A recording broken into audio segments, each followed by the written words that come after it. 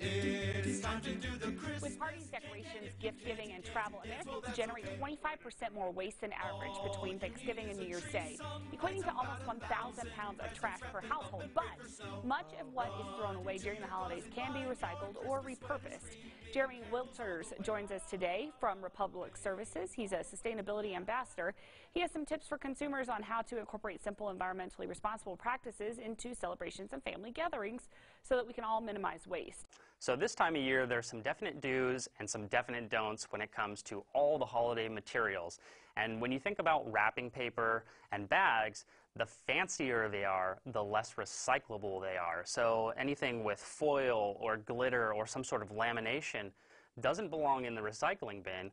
They're great for reuse. You can save your bags, your bows, and your ribbons for next year. Helps you save a couple dollars as well, but they don't belong in the recycling bin. Just the plain paper and the plain bags can go in your curbside bin.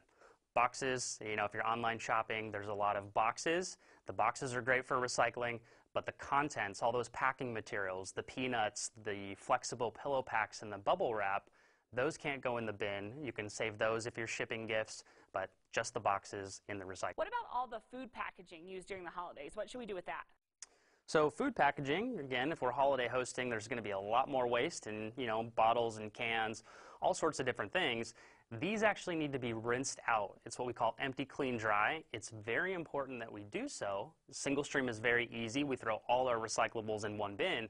But if this has residual soup or the other material is left in there, it can spill out on the paper and the cardboard. That paper and cardboard is very fragile. So if we leave the residual stuff in there, it can actually ruin that and we can't recycle it. So very important that we rinse these out just a best ditch effort, you know, put a little water in there, swirl it around, and then tap it dry before you place it in the recycling. Now, after Christmas, what should we do with those real Christmas trees? So when it comes to real Christmas trees, they definitely don't belong in the recycling bin. Inevitably, we see them come through our recycling centers. But if you have compost collection available in your area, check with your local provider for specific Christmas tree pickups, um, but they don't go in the recycling bin artificial trees alike. Uh, they're great for reuse. You can donate them if you're done with it, but they don't go in the recycling bin either. Okay, where can we get more advice from you? You can check out recyclingsimplified.com. It's a fantastic website loaded with all sorts of great resources, downloadable activities for the kids, and we update it with holiday tips as well. Very good. Thank you so much. We appreciate you being with us.